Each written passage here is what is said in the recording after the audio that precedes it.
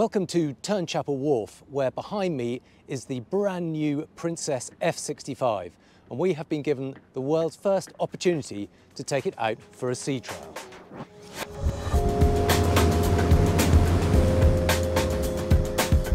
Consistent ride, whoa, there we go. Right, I'm going to ease back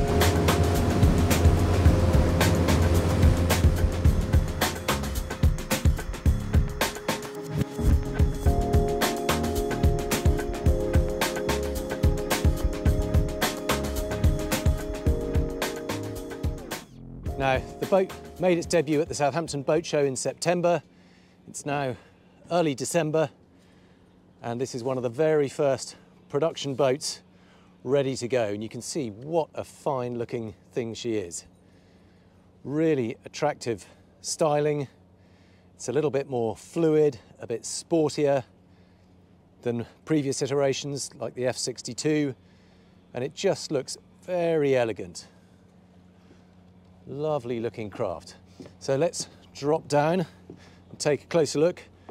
We've already done a tour of the boat at Southampton, so we may or may not get a chance to have a look around it all, but if we don't, you can see it all from our Southampton walkthrough. But the point of this is the opportunity to get out on the water, put it through its paces, see how it performs, give you some speed figures, some fuel figures, and really get a flavour of what it's like to actually drive. So the guys are just taking off some of the covers as we speak. We're going to warm up the engines, head out to sea and really see what she can do. Now this gives you some idea of the scale. It is quite a tall boat, but thanks to that styling, it really doesn't look it, but I'll show you, just give you an idea of how tall that is. I'm standing on the pontoon. You can see that these side decks are just above head height. And look at the size of these windows in the hull, really good and big. Now the retail price of this, including VAT and a fistful of extras, is going to be just over three million pounds. But you'll get an idea of what that money buys you. So at the stern here, we've got a big hydraulic bathing platform that will take up to a Williams 345 and that drops right down into the water. You can see there's a bathing ladder that pulls out of the side there. There's lots going on at the stern here. We've got pull-out shower and controls for the shower just there. There's this lovely little bench here with a window into the crew cabin. We've got a little opening slot for the shore power cable you can see going in there. We've got a passerelle, slides out of there to give access to a quay if you're more stern to in the med. We've got this big pantograph style door giving access down into the crew cabin. Uh, it's not fully kitted out at the moment. This is still very much in the pre preparation phase, but you can see we've got one bunk there, we've got another bunk running that way, and then access into the ensuite bathroom.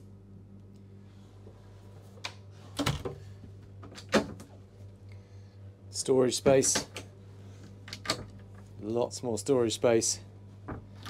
And there's that little window in the transom that I showed you earlier. And then behind here is storage for a pair of Seabobs. Don't know if that's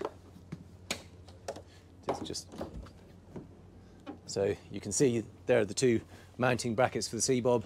They each slot in there, special hooks that they hang on, and the two charging sockets for them. So dedicated stowage for a pair of Seabobs. Let's jump on board and get going before the light starts to fade. We'll just do a quick tour of the side decks while we're here. You can see that these are nicely flared out, gives you a little bit of extra room just to maneuver along. There's this lovely blue strip in the superstructure and a grab rail up here, so there's always something to hang on to when you're walking down the side deck. Get a scale of these big windows down the sides and up onto the foredeck. Now, this is all covered up for the sea trial. This is a retail boat, so they're keen to keep it all protected, and we're not really going to get a feel for this on a December day down in Plymouth. But you get the idea. Again, look at the Southampton show report, but you can see the wrap of seating here, the sunbeds and that lovely little coffee table there. Huge windscreens, big old storage bins on either side, perfect for fenders and covers and the like. And even look at these cleats, beautifully done with the curved stainless steel, just protecting the gel coat. And again, back down the starboard deck, down into the cockpit. So here are the two MAN 1200 horsepower engines. They're on straight shafts, tucked away under the cockpit in the saloon. You can see the hatch giving access to those. They're fired up and we're ready to go. Casting off. You can see the bow thruster pushing us out. And indeed the stern thruster. This boat is fitted with both. That just gives us the opportunity just to ease out sideways from this berth and makes the whole berthing and departure process that much easier. Our test skipper is just taking us out. He knows the area. You can see he's got one camera showing the stern of the boat and there are those two thrusters just pushing us around. And now, as we come out into clear water, put them both ahead, and we are off out to sea.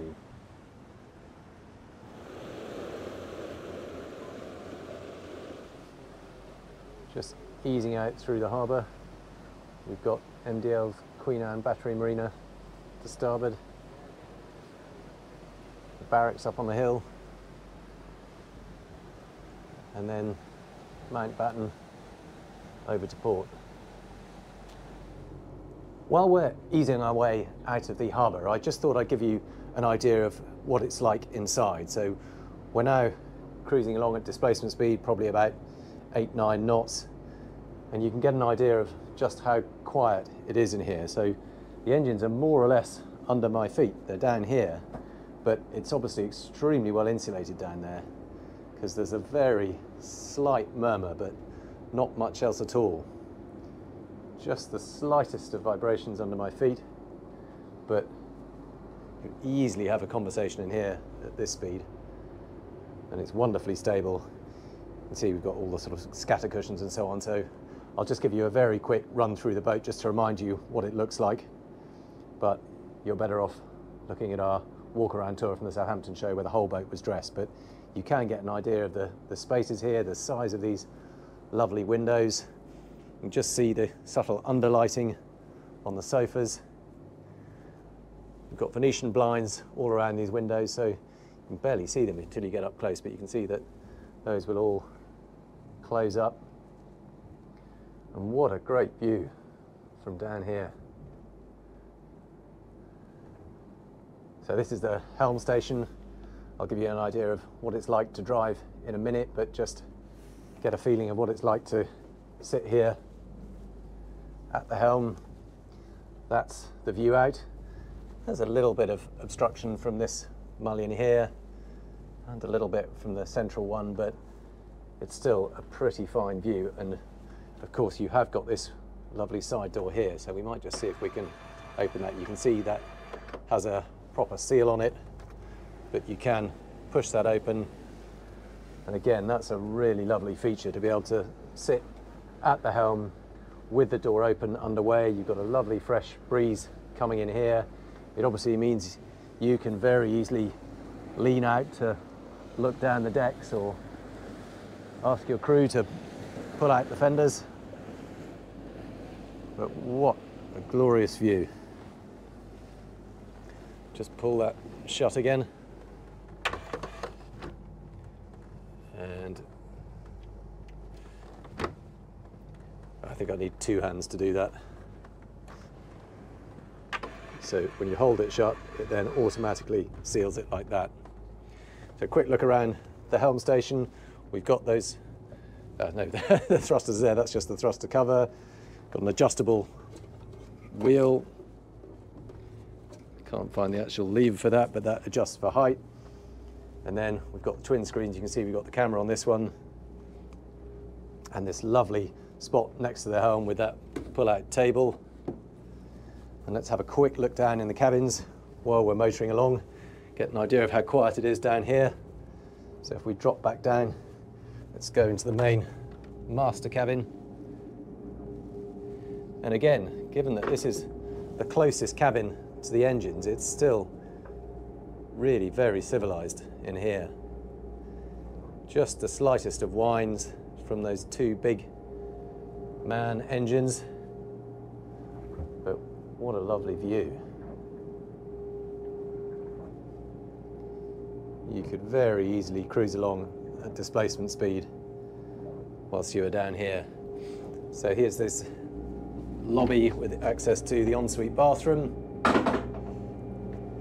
We keep those closed while we're underway.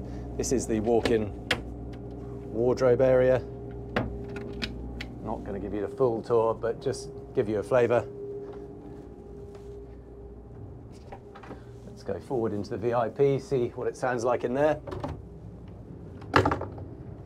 Now, of course, we're a bit further from the engines here, so you don't get the engine noise, but you do get a little bit of hull noise if I just keep quiet for a bit.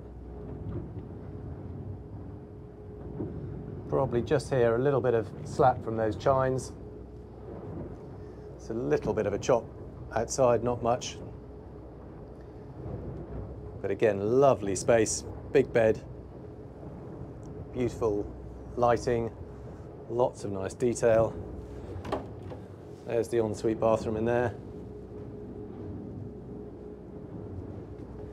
And then there are two more cabins. There's one over here to starboard, and that's the twin. And this is the cabin that has dual access to the bathroom. So you can see there is ensuite access from here into the bathroom, but there is also access from that lobby area. So you can see I've just done a complete circuit of that. So this is the bathroom that gets used as the day heads. When I close that up, you can see there's the loo, so you can lock it from either door but you've got access through there. And then to port, there's this twin bunk cabin. A little bit smaller beds, not quite so much natural light. There is a window there, but the bed does block a bit of it. But you can see that's what you get down there. But this is what's really going to sell it to you. It's this fabulous seating area, lovely aft galley layout. It's the full height fridge freezer, everything you need there, overhead lockers an extract fan up there.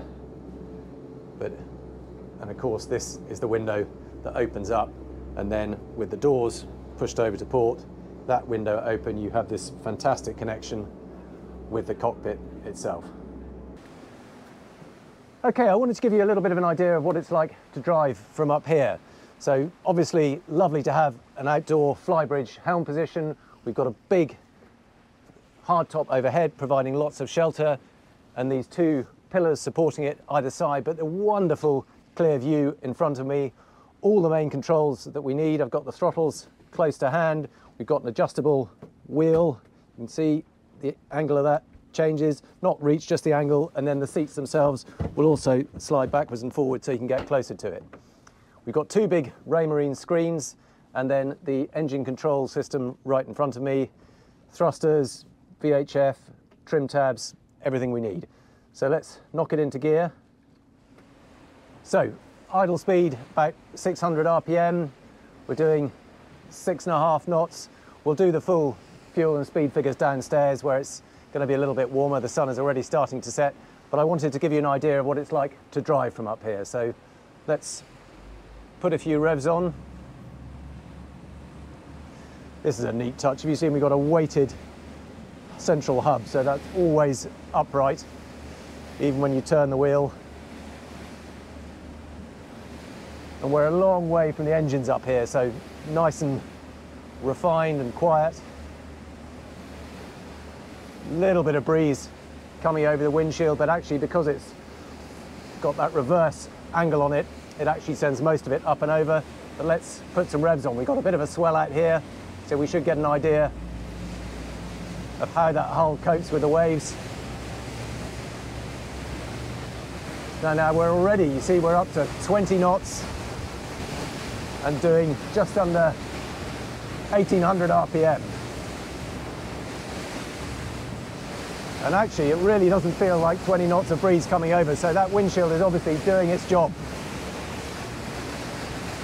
Right, let's put a bit of port helm on. Now you can really feel it riding over that big swell, but it's a very nice controlled motion. We have got the Sleipner stabilizers switched on and they're obviously doing their bit. But let's put it into a turn. Very nice light steering, and responsive too. It's immediately turning to port. We've got a little bit of lean on, but I suspect those stabilizers are actually reducing that a bit.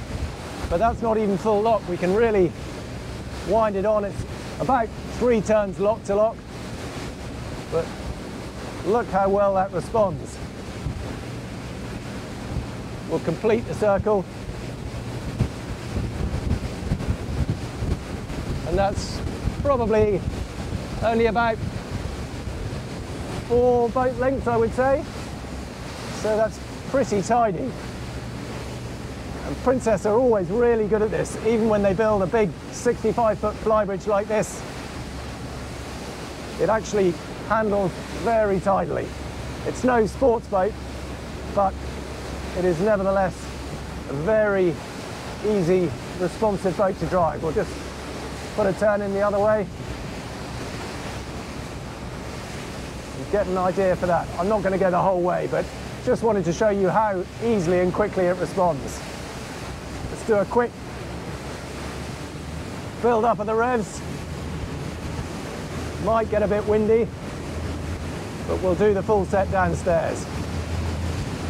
But look at that, what fun. So much power at your fingertips and a really competent hull. Look at that. And not a drop of spray up here at all. We're shoving out quite a lot of water either side and riding beautifully over that swell. But it's not uncomfortable, there's no slamming. It's just a good, solid, consistent ride. Whoa, there we go. Right, I'm going to ease back and let's move down the stairs. But that gives you an idea. At 30 knots, it just trounces through that wave, no problem at all. Right, let's turn it round, head downstairs, and we'll give you an idea of fuel, revs and speed. So we've now come down to the inside helm position just to talk through some of the fuel figures and speeds and so on. But the first thing to notice is it's actually slightly heavier steering from down below. And that's because while the upstairs steering is fly-by-wire, this one is hydraulic. So we've got power assistance for the hydraulic steering. But even if there is a problem and we lose the power assistance, we can still use this. We can pump it up by hand and you still get hydraulic steering. Obviously it's heavier, but it does mean you've got that backup. But that explains why it's a little bit heavier at the helm here. Now we're in gear. When we're just pootling along at six knots. We've had a look at, I've done a full set of figures and fuel flow and so on. Um, the fuel flow is down here at the moment. We can't get it up on the screen at the moment, but that's just a, a glitch that needs sorting. But when we're just running along at six and a half knots, 600 RPM, it's only burning around 13 litres per hour. So you can see that gives an enormous range when you're just cruising along at displacement speed.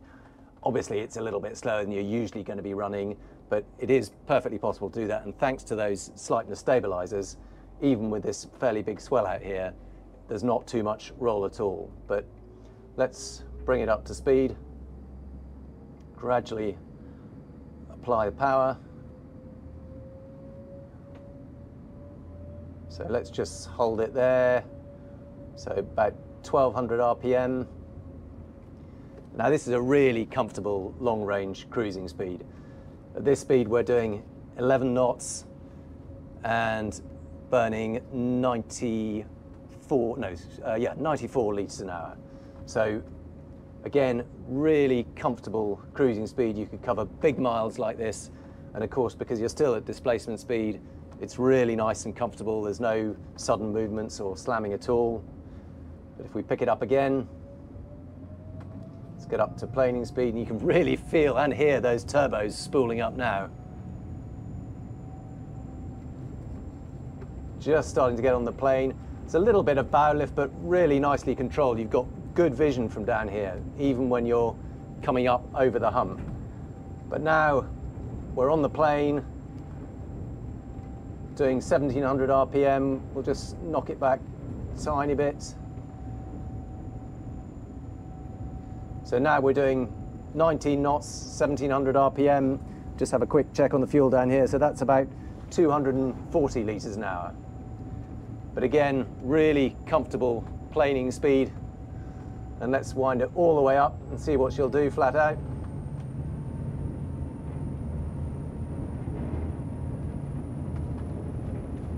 So we're up 2,200.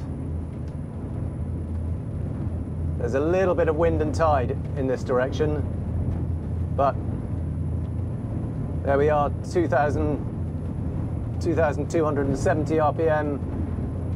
We're doing 30 knots, and at this speed, it's 244 litres per hour per engine, so about 480 all up. But flat out, a solid 31 knots in this direction. In the other direction, it was just over 32. So really good speed, plenty of power. And let's just put it through a tight turn so you can get an idea of even flat out. It's a really controlled turn. Got a bit of a swell out here, but just makes very light work of it. You can see there's just a kind of reassuring amount of lean on that. And actually the heavier steering works quite nicely. It gives you a bit more feedback in some respects. Really good vision, even at this speed. And the engines, yes, you can hear them, but they're very muted. But what's most impressive is how quiet the hull is from here. There's really very little hull noise at all. And even with those engines running at full whack, now we've got the wind and tide more in our favour. We're up to 2,300 RPM. And there we go, kind of 31, 32 knots, very comfortably. Maybe just trim it down a touch. There we go, just bring that down a little bit. An even better vision like that.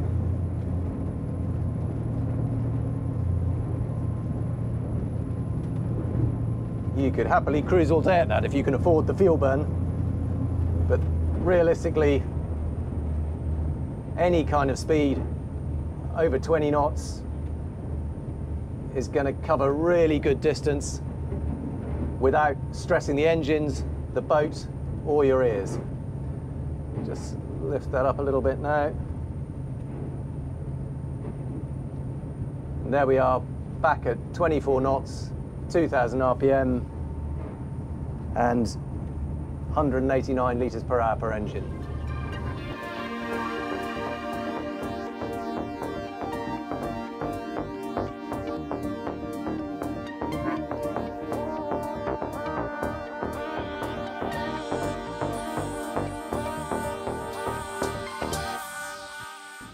I hope you've enjoyed this sea trial of the brand new Princess F65. It's always an exciting moment to get on board a very new boat like this. And exactly as we'd hoped, it shows all those classic Princess qualities. You've got that lovely accommodation, the very beautiful finish and detailing, albeit in a discreet manner, lots and lots of space, a really good layout, but most of all, you've got that classic Princess hull. You've got solid 30 knot plus performance. You've got really good agile handling for a boat of its size. And most of all, you've got a confident, comfortable hull that feels really competent even in quite a big swell that we've been in today. It always feels solid, it always feels reassuring. So thank you very much for watching. Do please let me know what you think about the boat and the video in the comments and I look forward to seeing you on the next one.